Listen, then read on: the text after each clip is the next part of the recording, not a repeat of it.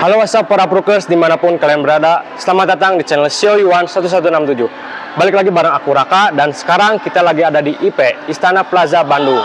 Nah di sini tuh lagi ada lagi ngadain Diecast Ramadan series kedua. Nah kalau yang kemarin di BIP itu Diecast Ramadan series ke-1 Dan yang sekarang itu series kedua. Ya udah ya guys langsung aja kita ikutin keseruannya. Ya guys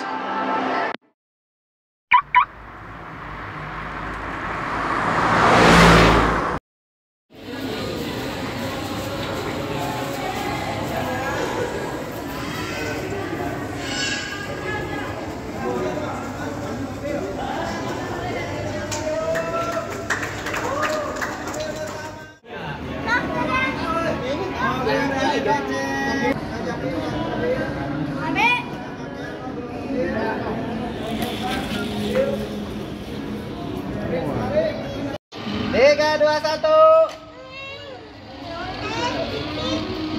Ayo. Coba lagi Oke.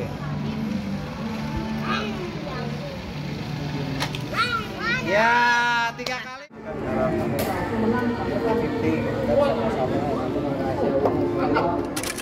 Tuh, itu lagi halus. Mobil juara.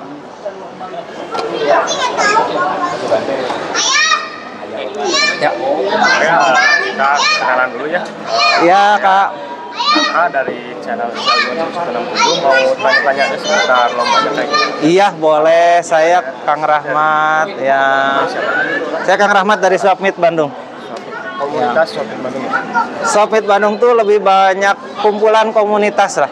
Kumpulan komunitas. Jadi mas- masing-masing punya komunitas juga. Oh, boleh. Mm-mm. Kalau boleh tahu eh, kakaknya asli mana? Saya dari Bandung. Dari Cililin.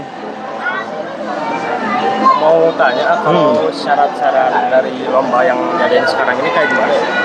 Kalau syaratnya sih ada dua kelas. Pertama kategori power booster sama kedua, kedua itu kategori loop non chem.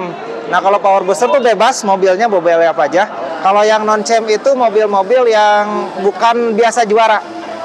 Yang mobil biasa juara dan di band itu ada governor, ada zoom in, ada crab, ada eh, HW konsep, ada Pandeta. Ada enam mobil yang biasa juara, nah sekarang nggak boleh ikutan. Karena kita kan setiap setiap minggu nih sampai awal Mei kita ada event, jadi race-nya itu berbeda-beda. Dan kita juga kasih sertifikat, ini official. Sertifikat dari Suami Bandung dan kelasnya pasti berbeda. Tidak pernah ada kelas yang sama selama Diecast Ramadan. Kalau acaranya ini berlangsung sekitar berapa hari ya? Kalau di BIP kemarin tiga hari, kalau sekarang di IP ini dua hari. Nanti mungkin di BIP yang Toys Fair itu setelah Lebaran itu seminggu. Jadi beda-beda. Nanti kalau info pastinya sih di Instagram Swapmeet Bandung. Bisa kepoin langsung ya Instagramnya dari shopping Bandung. Ya,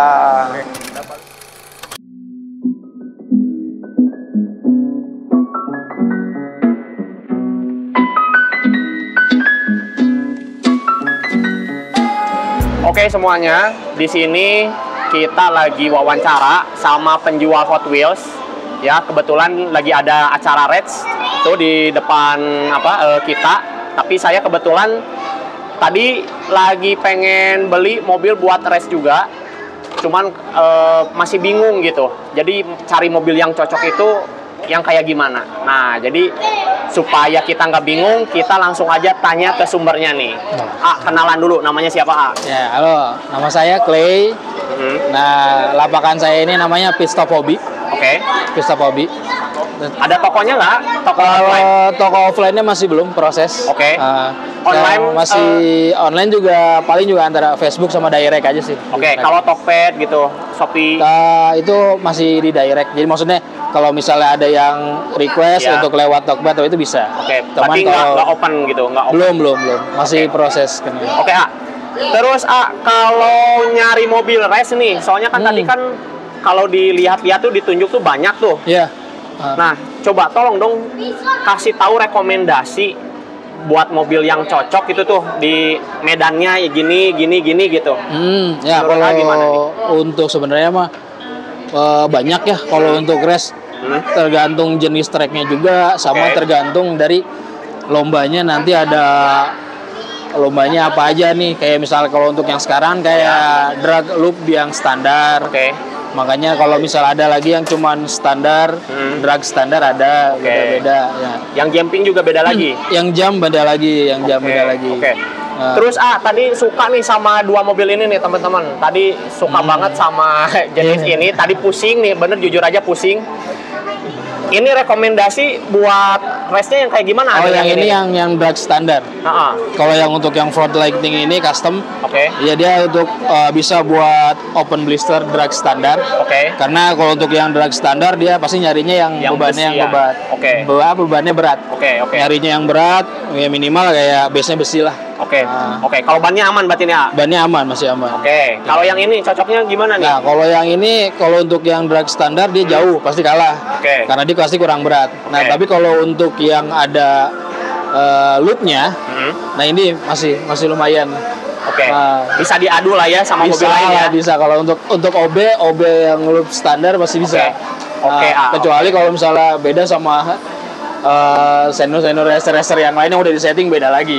Oh, oke, kalau yang udah oke. disetting mobilnya beda lagi, dia Oke. udah dikasih oil, dikasih Iya. dibersihin. Tapi kalau open blister, Kalau untuk OB masih Oke, ya. rekomen buat loop juga masih bagus. oke. Nah, Begitu teman-teman mungkin tips ya dari Kang Clay mungkin ya. Eh, iya. Oke.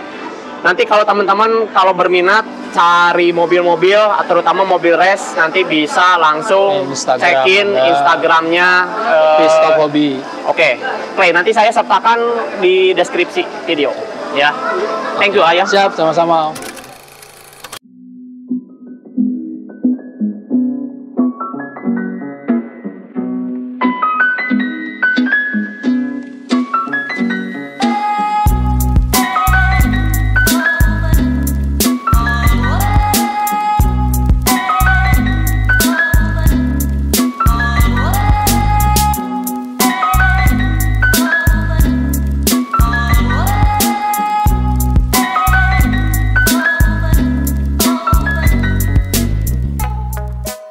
Oke guys, di acara Diecast Ramadan Series kedua ini kita sudah berhasil wawancara ke Om Clay sebagai seller dari Pit Stop Hobby.